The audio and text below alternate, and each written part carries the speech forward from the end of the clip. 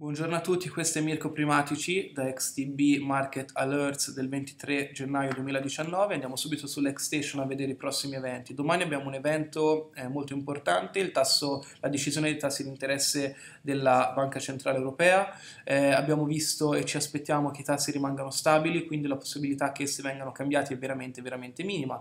Quindi visto che parliamo di euro, andiamo subito a vedere il primo cross valutario che riguarda appunto l'euro. Qua abbiamo l'euro-dollaro su un grafico daily.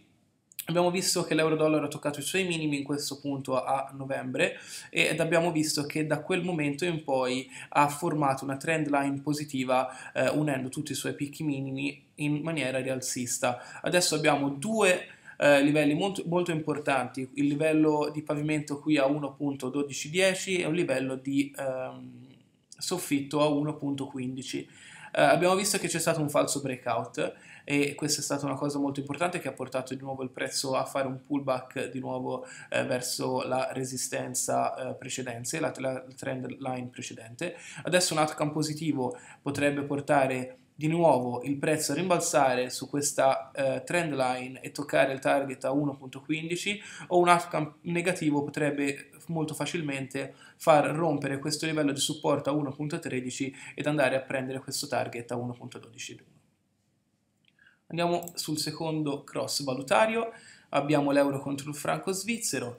Um, quello che vedete sul, sul grafico appunto sono eh, delle medie mobili esponenziali, la, eh, una a 21 periodi e una a 8 periodi. Quella a 8 periodi eh, come ben sapete segue il prezzo molto più da vicino. Abbiamo visto che si sono comportate molto bene nel, nell'arco, di, nell'arco di, questo, di questo anno, infatti abbiamo visto che quando la media veloce ha eh, incrociato verso il basso la media, ehm, la media più lenta, appunto ha dato un segnale bearish e viceversa ha dato un segnale bullish.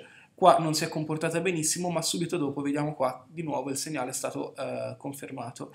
Adesso siamo di nuovo in un cross, adesso qui potremo anche pensare che il prezzo, appunto, se dovesse rompere questo livello di resistenza qua, potrebbe avere un risultato positivo e quindi un outcome positivo verso 1.15. Ovviamente un pullback qui risulterebbe eh, molto molto favorevole, molto propenso di nuovo invece a un ribasso fino a 1.118 e addirittura se dovesse rompere questa resistenza ad ulteriori, ad ulteriori declini.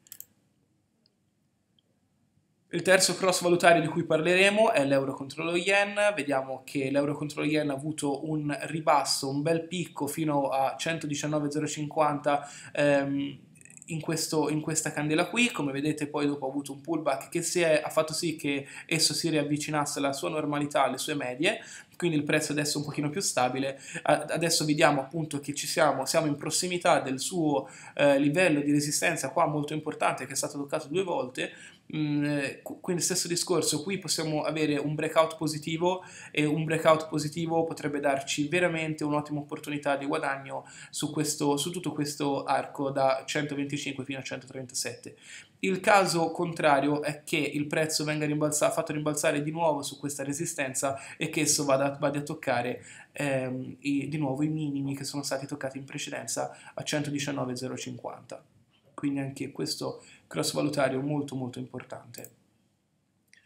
Il nostro quarto ed ultimo grafico che andremo a vedere oggi è il DAX, quindi andiamo a parlare di azionario. Come abbiamo visto l'azionario è stato molto sotto pressione nell'ultima parte dell'anno, abbiamo visto che eh, adesso comunque il DAX sta cercando una eh, risalita, un, un, una, una, diciamo una, rivincita. Abbiamo visto che nel, negli ultimi giorni c'è stato un picco verso l'alto molto molto importante che ha dato agli investitori quella speranza che tanto, di cui che tanto si aspettavano eh, per vedere di nuovo il DAX, l'azionario, eh, tornare verso i suoi livelli eh, precedenti e quindi ritornare in un trend positivo. Adesso qui vediamo che ci sono molti livelli di supporto e resistenze che sono stati toccati in passato, questo che vediamo a 11.000 è molto molto cruciale perché un, uh, una, un breakdown di questa un breakout di questa eh, resistenza qui, di questo supporto qui, in realtà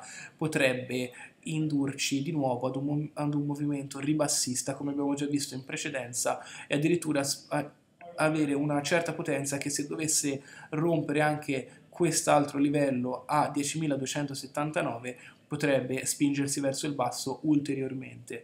Stessa cosa possiamo dire per questo livello a 11.255 se esso dovesse venire uh, uh, rotto, allora a questo punto abbiamo come primo target 11.705 e come ulteriore target addirittura 13.000, molto più a lungo termine ovviamente, uh, però un, una strategia molto molto attuabile.